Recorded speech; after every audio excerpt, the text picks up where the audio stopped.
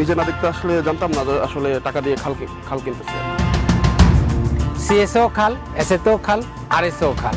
দলিল পর্চা করায়া এরা বিক্রি করার পায়তারা করতেছে।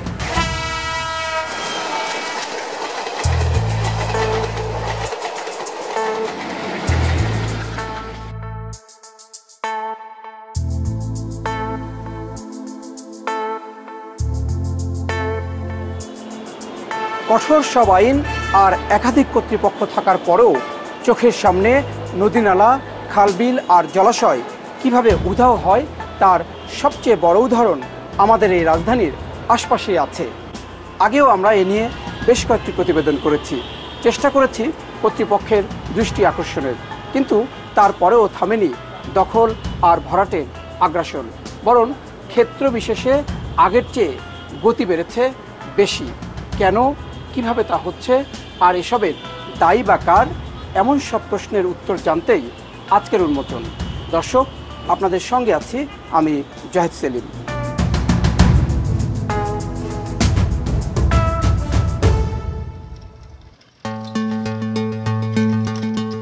মিরপুরের ব্যবসায়ী আলামিন সাভারের এই শ্যামলাপুরে এসেছেন জমি কিনতে।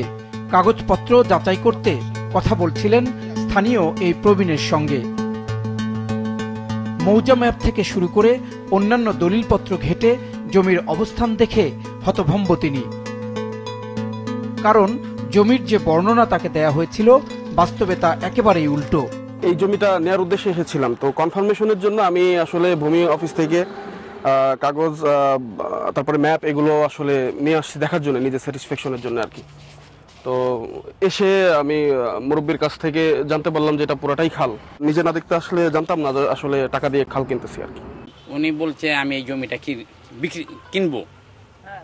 কিনবো তে আমরা বলতে সেটা তো আপনি কি কিনবেন? এটা তো খাল। তার মানে জমির নামে খাল কিনতে এসেছেন আলামিন। এই এলাকার ম্যাপ অনুযায়ী এখনও এই জমিটি খালের অংশ। তারপরও কে বা কারা এটিকে নাল হিসেবে বিক্রির চেষ্টায় আছে? অনেকেই আসে অনেকে আসে অনেকে আসে কিনবার আসে কেউ বিক্রি করব। আর এরা বলে যে এটা অরিজিনালি আপনার রেকর্ডের জমি। আমরা বলতে চাচ্ছি না এটা হলো খাল অরিজিনালি খাল এটা। এখন জন্মের পরে তো খাল দেখতে আমাদের মুরব্বীরও খাল দেখছে।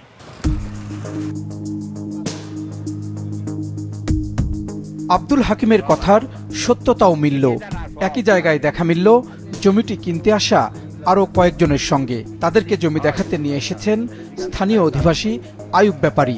জমিটি যে খালের অংশ তা নিয়ে কথা শুরু করতেই বিষয়টি এড়িয়ে গেলেন তিনি। এই যে খাল এখানে লেখা খাল আপনি সরকার যদি দেয় আপনাদের তখন আপনি কি করবেন? মানে কোর্ট আপনারা দিচ্ছে এটা একটা ম্যাপ এখানে। আর একটা ওই যখন একটা রাস্তার মধ্যে বিল্ডিং করছে এটা ধরেন। প্রায় বারো বছর আগে বুড়িগঙ্গার ওপর এই সেতু নির্মাণের পর থেকেই বাড়তে শুরু করে সাভার এবং কেরানীগঞ্জের এই এলাকার জমির দাম। দখল এবং ভরাটের মহোৎসবও শুরু হয় তখন থেকেই। নিশ্চিহ্ন হতে থাকে ছোট বড় খাল বিল, জলাশয় থেকে শুরু করে নদ নদী কিংবা সেগুলোর অংশবিশেষ।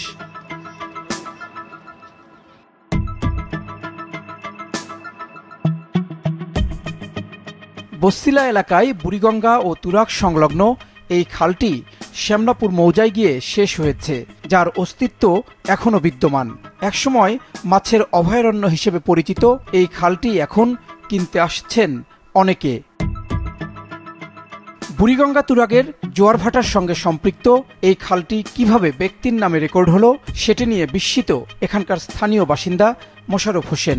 শ্যামলাপুর মৌজার স্থানীয় এই ব্যক্তি জানাচ্ছিলেন, খালটি দুপাশ থেকে এখনই সংকীর্ণ করা হয়েছে। এটা সিএস থেকে খাল।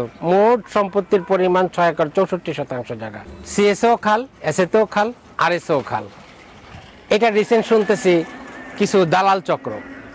অসাধু ব্যবসায়ী, এটাকে রেকর্ড করায়া নামজারি আংশিক করায় ফেলছে। আমরা যেখানে বসছি, এখান থেকে পশ্চিম অংশটুক রেকর্ড করায়া, দলিল পর্চা করায়া, এরা বিক্রি করার পায় তারা করতেছে।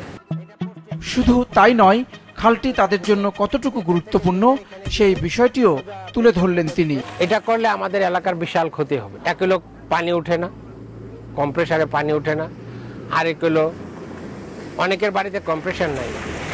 গোসল করার একমাত্র জায়গা এটা, এই খালটা। আশেপাশে অনেক গরিব লোক আছে, যাদের বাসায় একটা টিউবওয়েল নাই। এরা এখানে এসে গোসল করে, পানি নেয়, পানি খায়, মাছ ধরে, মাছ বিক্রি করে। এখন যদি এটা বিক্রি হয়ে যায় এটা আসলে সরকারকে জানানো উচিত। এই খালটিকে ব্যক্তি মালিকানায় দেখাতে গিয়ে যাকে মালিক হিসেবে দেখানো হয়েছে, আমরা সেই আসিফ ইকবাল খানের সাথে যোগাযোগ করতে চাই। দলিলে যার ঠিকানা উল্লেখ করা হয়েছে, উত্তরা।